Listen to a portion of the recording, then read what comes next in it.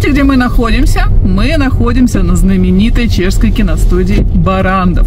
И вот эта улица, по которой мы едем, она называется улица Милоша Формана, знаменитого режиссера, который был чехом. Э, И вот, Я вот. вот да, ну вот Милоша написано. Милоша Формана. Э, И вот здесь, кстати, заехать на Барандов может каждый. Здесь все это ателье всякие, как-то ательеры по-чешски, я не знаю, как это правильно сказать. Студия? Студии, да, все, Барандов.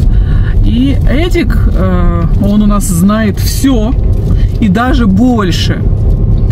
И он говорит, что здесь есть одно очень интересное место, Старый э, Да, которое мы сейчас хотим посмотреть. Если, я не знаю, Эдик говорит, там очень интересно, жалко, внутрь, внутрь нельзя зайти, но со стороны, говорит, можно кое-что увидеть.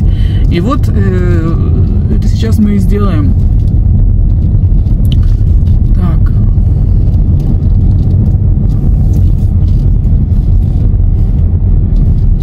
Дорогие кресты. Да, кресты.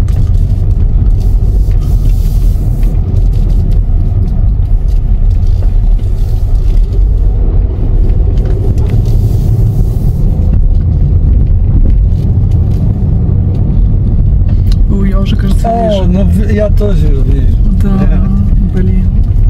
Куда же там видите?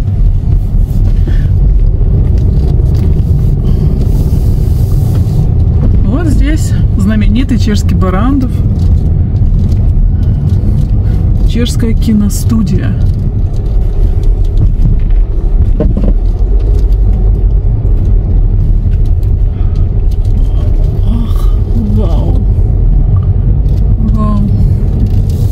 И вот куда мы приехали.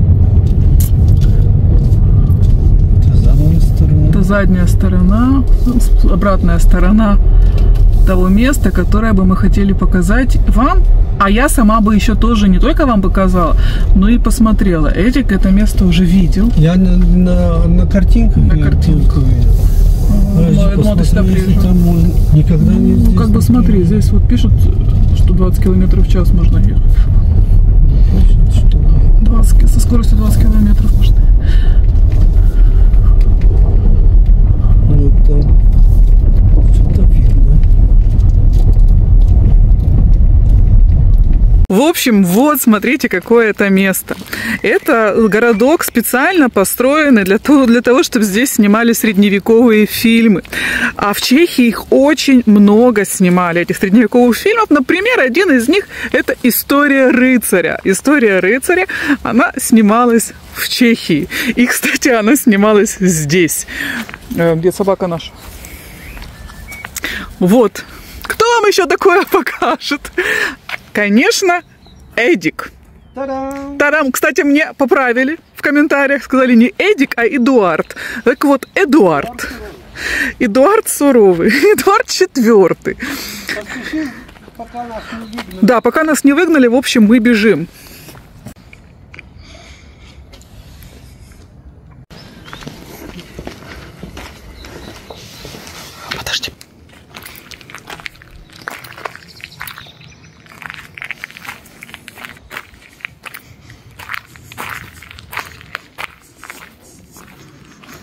Там белье сохнет. Смотрите.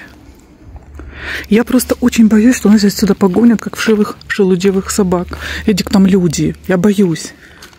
Иди сюда.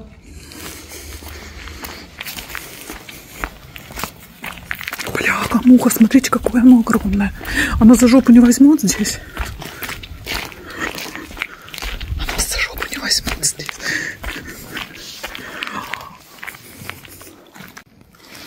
Короче, мы все это делаем очень быстро, потому что, знаете, что будет смешно? Если это дело закроют, мы останемся здесь.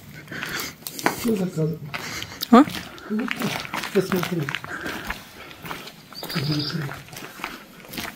Давай, давай будем бежать уже. Не надо. А, про- а если, а если они сейчас закроют? Там люди. Вон они. Эдик, не надо, он нас... Эдик. Короче, уходим мы отсюда, потому что там какие-то рабочие. Вот уже люди с конями появились. Тут какие-то съемки сейчас будут, потому что мы видели. В общем, здесь сейчас готовятся к каким-то новым съемкам, видимо. Тут и коней водят, и помимо... Все, мы лучше уходим, чтобы никто нас не наругал.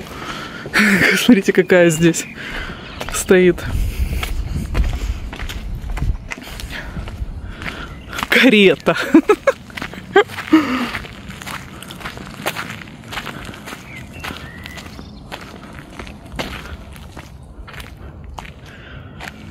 Вот. А, кстати, впереди безумнейший вид на Прагу. Потому что мы находимся на горе. Ну, в общем, вот такое место. Киностудия Барандов скрывает в себе вот такие вот красоты средневековые.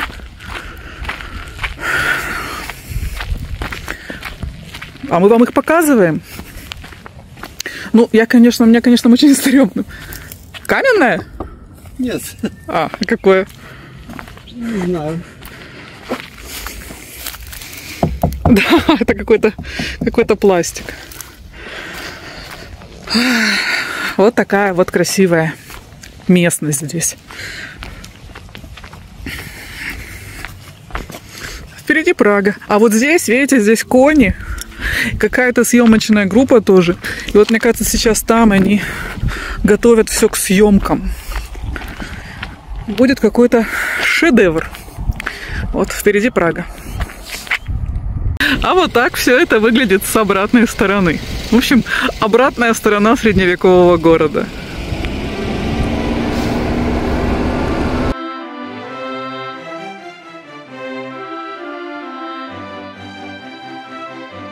Итак, наконец-то мы добрались до одного замка, в который давно собирались прийти.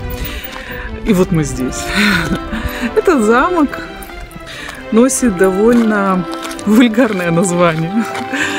Потом расскажу, какое. А историю этого замка можно охарактеризовать такой фразой. Если вы знали, что здесь, в этом замке, произойдет через 300 лет, на этом месте его бы никогда не построили. Но обо всем расскажем по порядку. Но сначала хочется вернуться в прошлое видео. Мы были в городе э, Падибрады, и там случайно попали на съезд реборнов. Э, реборн – это перерожденные, это куклы, которые полностью имитируют детей, и есть мамочки, которые этих кукол воспитывают. В общем, приезжаем мы сейчас в этот замок, в который мы приехали. Замок называется Вильтрусы, а здесь съезд реборнов. Мы не шутим.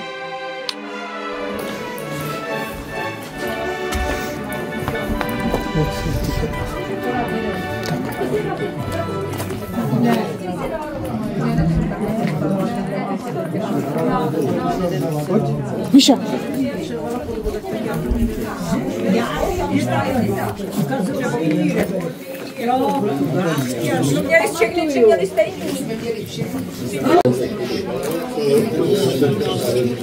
U řeky u starého mostu.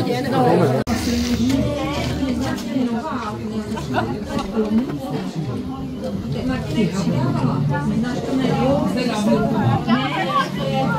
В общем, у меня второй день шока, я не знаю. Может быть, я реагирую на этих реборнов как дикарь какой-то. Э, Но теперь я понимаю, что, наверное, просто вот мы их часто видели, просто никогда, я никогда не заглядываю в чужие коляски. Вчера, если бы, э, когда мы сидели в кафе, в, э, в Подибрадах, и я увидела, откровенно говоря, умственно отсталых э, родителей. Ну, я видела, что у них не все дома, прошу прощения, и у них коляска. Э, Я непроизвольно повернула голову посмотреть, что там за ребенок, или кто им доверил вообще ребенка. У меня так много мыслей было в голове. Ну, и я увидела там куклу. Потом я поняла, что это съезд вот таких вот родителей в кавычках. Сегодня шок 2. Сегодня опять приезжаем уже в другой замок. э, И опять эти куклы. У меня же такое впечатление, что вокруг одни куклы в колясках. Весь мир сошел с ума. Я говорю, я, может быть, не права, но... Не знаю, ну нет, ну с одной стороны, пускай лучше кукол возят, чем там, я не знаю, каких-то котят мучают или цыплят. Сейчас тоже люди идут, заглядывают в коляски с непониманием. Ну, в общем, слава богу, не я одна смотрю на это.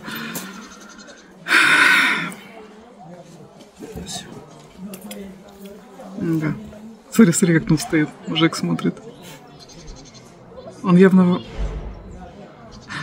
Да.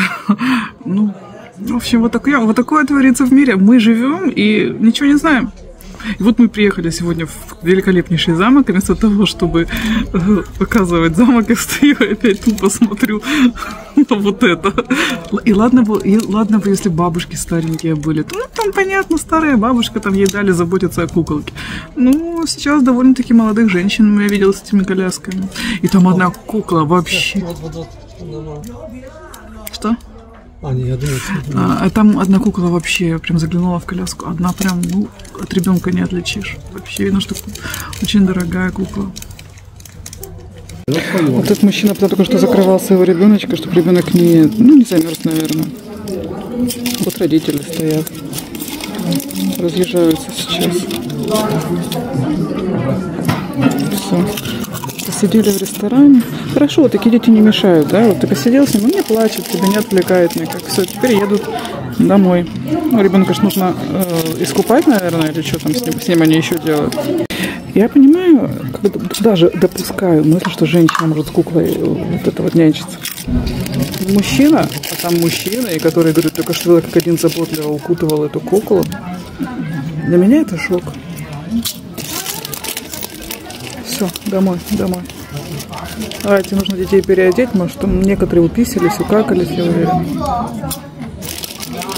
Давайте.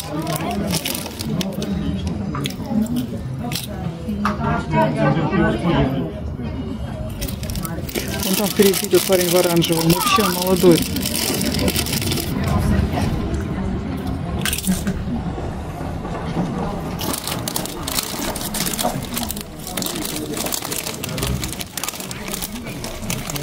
А мы в компании группы ребарнистов, или я не знаю, как эти люди правильно называются. Ну, вот они с колясочками идут.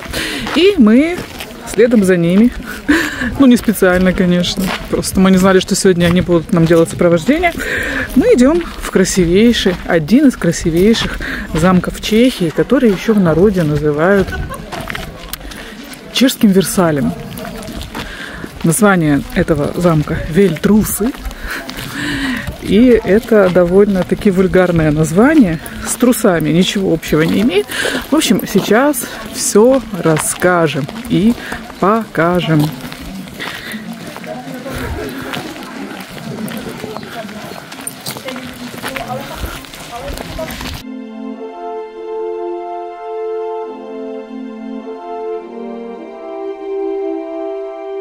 Мы специально дождались, когда замок откроют, чтобы прийти в него и зайти внутрь, но мы пришли с Мишенькой нашей. Мы не захотели ее одну оставлять дома, а с собачками не пускают. Ну, не суть. В общем, замок очень красивый. Кто здесь не был, очень рекомендую сюда прийти, сходить внутрь. Поэтому, потому что лучше самому увидеть, чем где-то посмотреть. Ну, а историю этого замка и что же с ним произошло, э, сейчас я вам расскажу. Итак, замок Вельтрусы.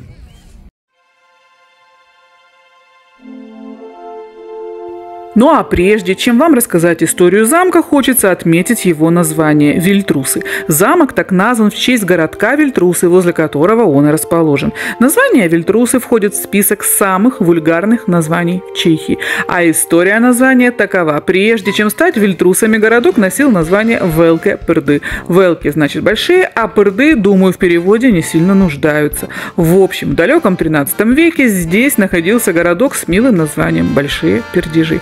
С чем связано такое название, история умалчивает, но, видимо, были случаи. Итак, со временем городок решили переименовать, но, видимо, за что-то его все-таки не любили. Поэтому новое название, хоть и не было уже таким грубым, но смысл оставался прежним. Назвали городок Вильтрусы. Трус – это кал животного. То есть сегодня это можно перевести как, например, большие языки. Но есть и второй смысл, и он не намного лучше трусить, не слышно выпускать газы. То есть большие шептуны. Но я бы назвала это место пук королевы, раз уж пошло такое дело. Так звучит благородней.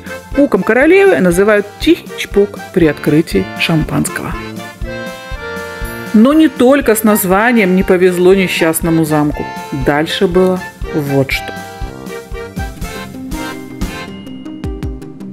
В августе 2002 года Чехия пережила самое разрушительное наводнение в своей истории, вызванное интенсивными и продолжительными дождями.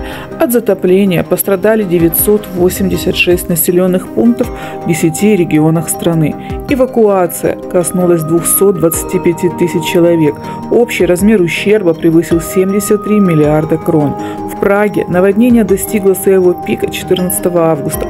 Затопленным оказалось почти 6% от всей территории столицы. Полностью или частично оказались затоплены 16 станций метро. Сильнее всего пострадала линия «Б». Фотографии затопленного пражского зоопарка тогда облетели весь мир. Наводнение погубило 134 животных. Большинство из них утонули. Часть сотрудникам пришлось усыпить. Например, льва и медведя. Трагическим символом стихии стал морской лев Гастон, который боролся за жизнь до конца. Его течением отнесло из зоопарка до самой Германии. Морской лев преодолел около 300 километров, но когда немецкие пожарные достали его из воды, он умер от стресса и физического истощения. Но какое этой истории имеет отношение замок Вильтрусы? К сожалению, самое прямое. Он стоял на пути у большой воды. Замок Вильтрусы находится в 30 километрах от Праги. Парк, разбитый вокруг замка, когда-то считался лучшим парком Европы, а его внутреннее убранство было достойно лучших королевских дворов. Одним из прекраснейших мест Чехии Вильтрусы оставался вплоть до 2002 года. А в 2002 году случилось одно из самых страшных стихийных бедствий в Чехии – наводнение. Паводок, произошедший Прошедший тогда стал самым мощным за 500 лет. Водой было покрыто 40% территории страны. И именно этот прекрасный замок, стоящий на берегу Волтавы, принял на себя самый тяжелый удар водной стихии. Наводнение нанесло замку и его уникальному парку ущерб в размере 8 миллионов евро. Некогда прекраснейший европейский парк был превращен водой водой в пустыню. Из всех его 30 объектов уцелело только три. Три с половиной тысячи вековых деревьев было потеряно. Поток воды был такой силы, что когда вода ушла, территория вокруг замка была усеяна самыми неожиданными предметами, принесенными стихией из Праги. Вокруг замка можно было найти все, что угодно, включая мебель и бытовую технику. На ремонт замка ушло более 10 миллионов евро.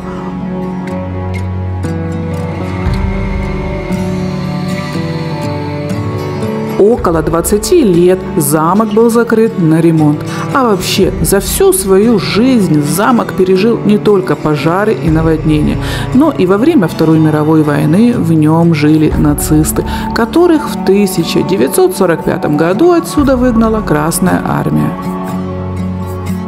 Строительство замка Вильтрусы началось же в 1704 году. С самого начала его строили в стиле барокко. В своем изначальном виде замок являлся одним из важнейших произведений периода пика архитектуры барокко в Богемии.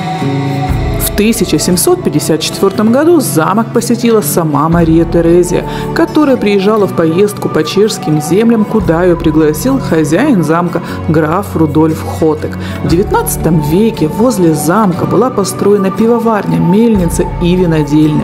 Замок получил статус культурного и промышленного комплекса и стал приносить его владельцам хорошие доходы. Но как мы помним, в 21 веке большая часть сооружений из-за стихии навсегда была утрачена.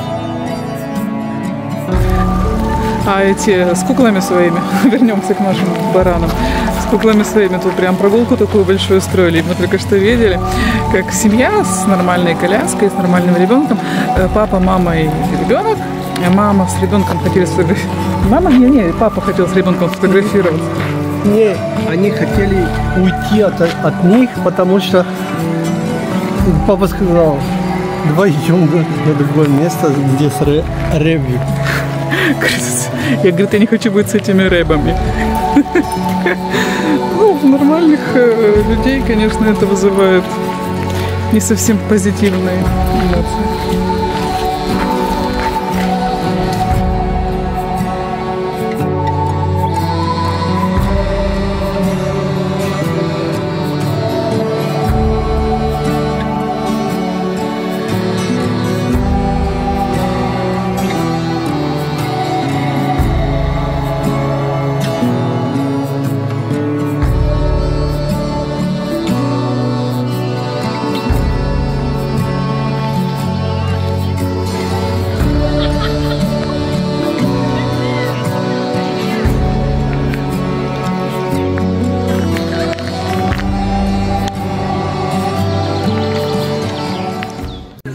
Господа, это эпидемия. Тут новая ск- группа этих людей. Я прошу прощения, что я очень много времени посвящаю вот этой, вот этой болезни, вот, эт- вот этому я не знаю, у меня нет названия этому кошмару.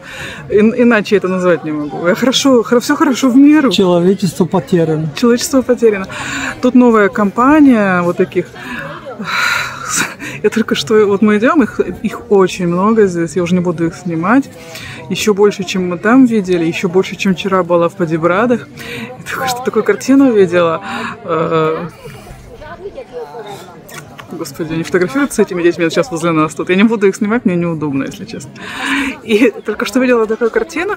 Стоит мужчина, ну, максимум до 50 лет, до 50, может, качает коляску. Качает, именно укачивает. Я специально прошла мимо него, опустила глаза, а там кукла. Такая подмена понятий ужаснейшая. Это ни к чему хорошему уже не приведет.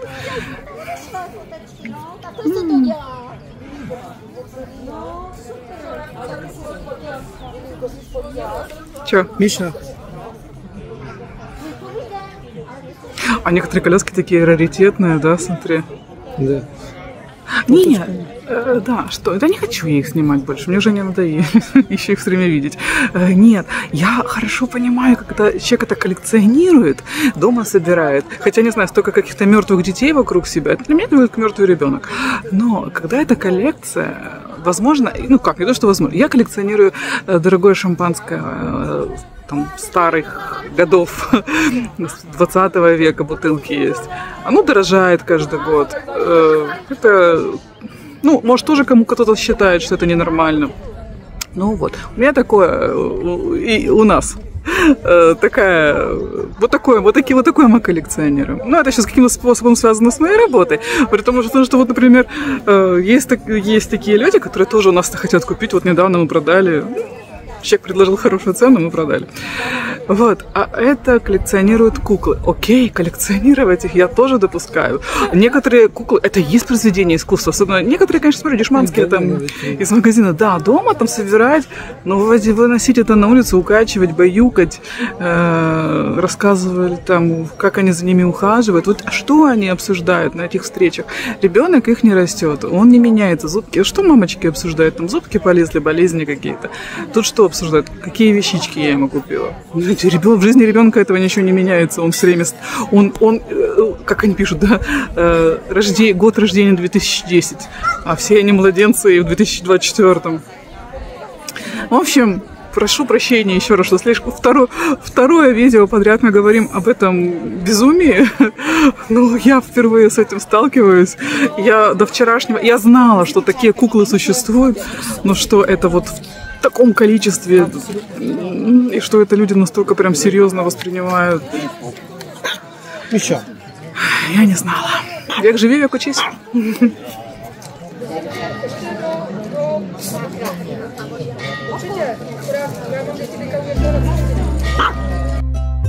И невольно вдруг подумалось, вот если бы мы подошли к этой группе не с живой собачкой, а с плюшевой, но при этом волоча ее на поводке, приговаривая, не бойтесь, она не кусается.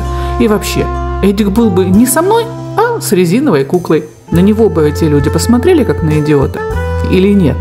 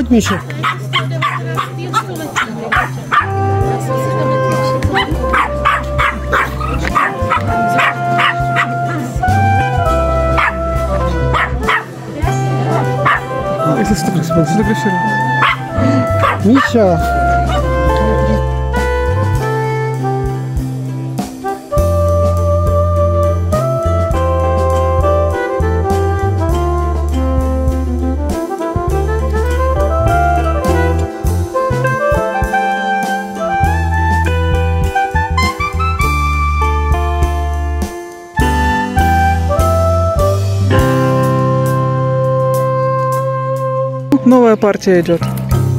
Еще одни подходят. Ну, а давайте лучше любоваться вот таким прекрасным замком. Смотрите, какая красота. Очень жаль деревья, многие из которых погибли здесь. Не многие из которых, а большинство, к сожалению. Вот такой великолепный замок. Красивый. Очень он даже, э, я бы сказала, совсем не в чешском стиле, но все-таки проектировал его итальянец. Чех итальянского происхождения, скажем так. Что? Итальянское производство. Да, чех-итальянское производство. Чехо-итальянское производство. А там павлины гуляют. Ну, он впереди. А еще, мне кажется, здесь в парке олени или лоси, ну что-то такое в парке, который принадлежит к этому замку. Кони, да, кони здесь тоже ходят.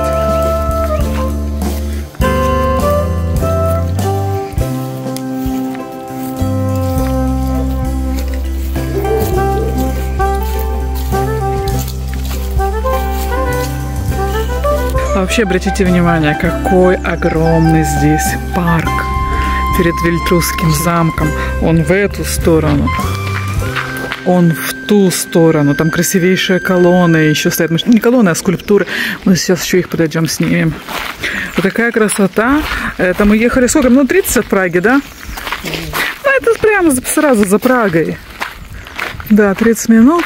И вы вот здесь. В таком чудесном месте.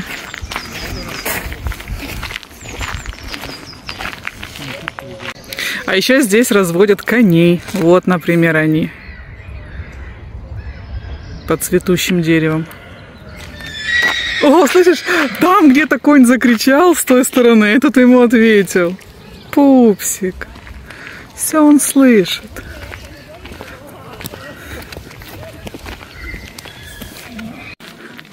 Кстати, а вот и конюшня здесь.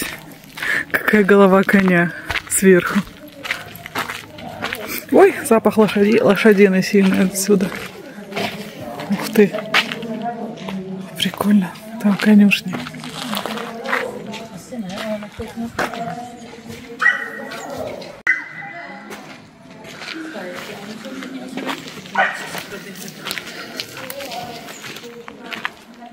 Вот вот вместе. А здесь посмотрите, это скульптуры, каждая из которых символизирует месяц году. И вот здесь пишут «леден», значит январь. А, латинский, лати, латинское название этого месяца «Ианвариус», а, э, в честь римского бога дверей, входа, начала, а, который, у которого два лица.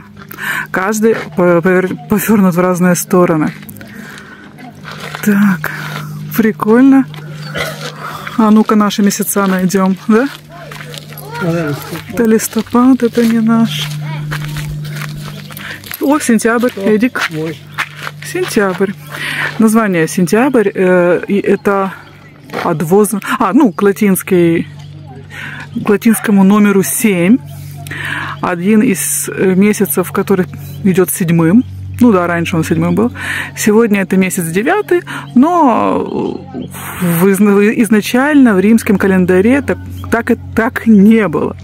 Чешский назв, чешское название Зари это от старочешского э, «заруе», «зарие», время, когда э, звери э, поруются, животные поруются. Так, червенец, червенец июль, кветен, май. Так, я свой месяц ищу. Бжезен. Вот сегодня последний день Бжезна, март.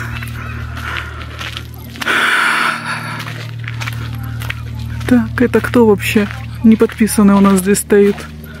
Это никто. Так, а я не поняла, а что, что за несправедливость? Где мой месяц? Так, это апрел. Дубен по-чешски. И, и червен, июнь. И вот я август. Так, в старом римском календаре э, вы могли встретиться с месяцем шестой. Про его, да. Тот был в конце концов назван Август в честь э, императора Августа. Ну да. Так, вот мой месяц август. Что там еще какие месяцы? Ну, октябрь. По-чешски это будет Рен. Декабрь. По-чешски это будет просинец. И феврариус, февраль. По-чешски это унор. Вот так. Вот так здесь.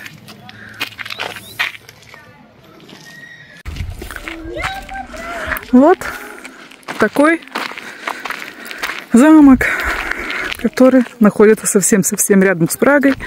Еще раз говорю, называется Вильтрусы. Обязательно его нужно посетить, потому что он очень красивый. Сходите внутрь. И надеюсь, никогда больше замок этот не будет уничтожаться стихией. Да вообще, это ужасная стихия была, наводнение. Потом было еще какое-то, помню, в 14 или в каком-то году наводнение, помню? Ну, такое было, уже несерьезно. Ну да, были. Да, это... Надеемся, больше этого не будет. И сейчас, после сегодняшнего, сегодняшней встречи с этими любителями кукол, прям с таким уважением смотрим на родителей с детьми. Ну, это, это всегда хорошо. Миша, да. Люди Миша. Рожают детей и не придумывают глупости. Но сегодня так особенно это ценно выглядит. Потому что у меня после того, что я видела сегодня, такое впечатление, что идиотов очень много. Это помнишь, мы однажды в Америке попали, э, в Нью-Йорке попали на гей-парад? Да. Это был самый большой гей-парад в мире, как оказалось потом. И нам казалось, что весь город сошел с ума, потому что впечатление было, что геи все, кроме нас.